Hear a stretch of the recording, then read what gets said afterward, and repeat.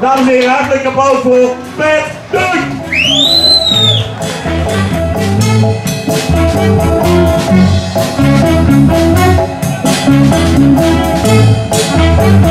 He's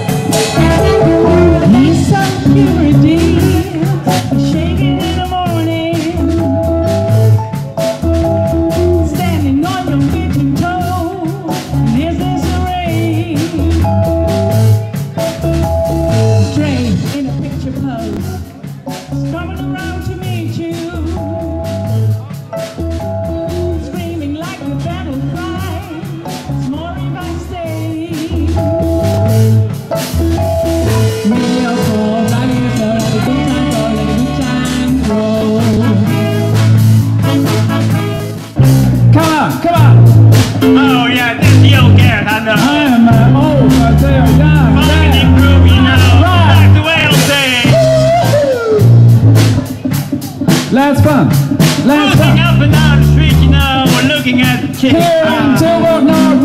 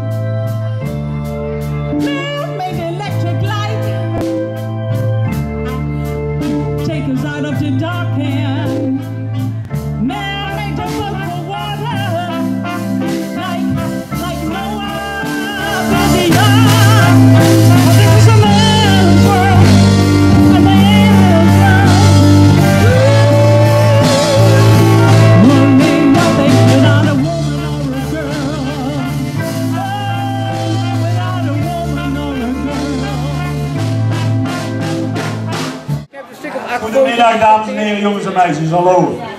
We zijn wederom zondagmiddag Parkfestival uh, Tilburg Noord.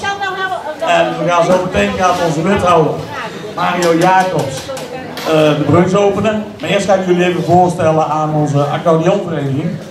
Les Musiciens Joyeux. Zij bestaan bijna 15 jaar en zijn een begrip in Tilburg en omstreken. Uh, ze maken direct voor jullie in ieder geval een heel gezellige middag. Vrijwilligers staan klaar voor jullie. Dus voor zo meteen eens smakelijk. Maar dan geef ik nu het woord aan Mario Jacobs, de wijk, nee, stadsdeelwethouder van Noord. Mario. Ja, het is een hele mooie traditie, het Parkfestival. Inmiddels al de negende keer. En binnen die traditie is het hoogtepunt eerlijk gezegd de lunch. En waarom? Het is een gezamenlijke lunch waarin we als hele buurt bij elkaar zitten. En dat wordt vooral mogelijk gemaakt door de vele vrijwilligers die hierbij helpen. Dus ik denk dat ze wel een applaus hebben verdiend. Hartelijk dank. Eh, en normaal sta ik hier samen met, eh, eh, met, met Frans. Dus eigenlijk de vader van het, van het festival. Maar ja, Frans zit nou vanuit de loge toe te kijken. Ook een applaus voor hem.